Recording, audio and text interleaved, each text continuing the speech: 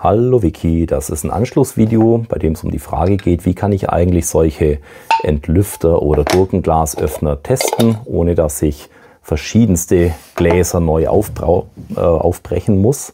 Ähm, wir haben im letzten Video gezeigt, wie wir mit so einem Vakuumbehälter arbeiten können.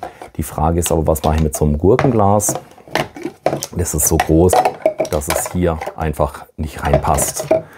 Ähm, wir haben zwei Lösungen in dem Video für dich. Das eine ist also für dich, wenn du aus der Technikberatung kommst, für alle anderen ist es wurscht. Äh, das ist so ein Gurkenglasabsauger. Den mache ich auf den Deckel drauf, schalte dann die Pumpe an. Ich schaue hier, dass ich bei minus 0,6, minus 0,8 bar bin. Du siehst, es geht auch deutlich schneller als mit der letzten Vakuumpumpe. Und so kann ich jetzt das Vakuum reinlassen und das Glas aufmachen.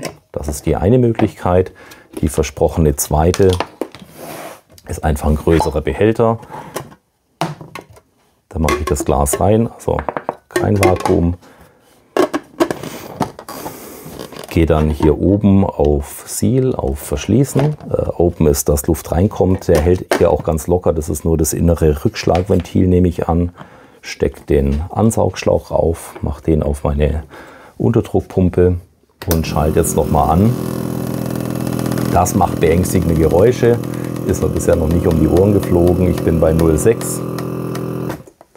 Ähm, hier, falls du irgendwas sinnvollerweise vakuumieren möchtest, äh, den Nupsi rauszuziehen, finde ich, geht relativ schwer. Drehenderweise geht es gut. Wenn du jetzt aber in die Richtung Richtung Open drehst, dann geht schon ein bisschen Luft rein. Das heißt, ich drehe immer Richtung Versielen. Spielt für mich hier keine Rolle, weil ich jetzt eh direkt die Luft reinlasse. Habe jetzt aber wieder mein vakuumierten Behälter und kann da die Luft reinmachen.